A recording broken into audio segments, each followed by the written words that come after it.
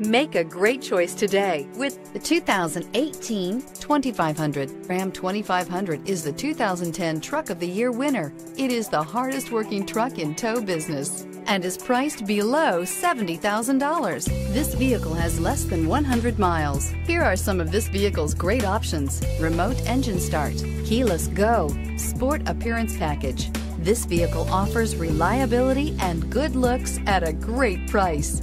So come in and take a test drive today.